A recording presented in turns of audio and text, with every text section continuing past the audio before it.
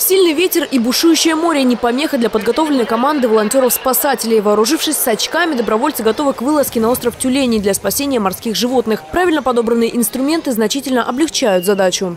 Лески и упаковочная лента, она порой не просто висит на котике, а она въедается под кожу и, получается, зарастает немного. Ее нужно правильно обработать, правильно, аккуратненько вытащить, э, проверить.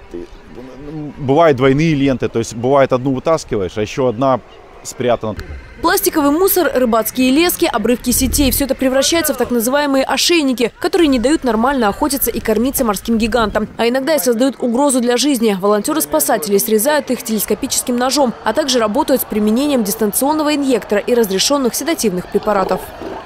В целом травмирование вот этим мусором для популяции большого вреда не наносит, но оно приносит страдания отдельным животным. И э, люди Э, это обязанность людей э, оказать помощь э, этим животным, потому что мусор этот образуется в результате деятельности человека. Помимо избавления от мусора, который причиняет мучения млекопитающим, важной задачей экспедиции стала обработка как опасных для жизни ран, так и мелких порезов, которые с трудом заживают без вмешательства ветеринаров.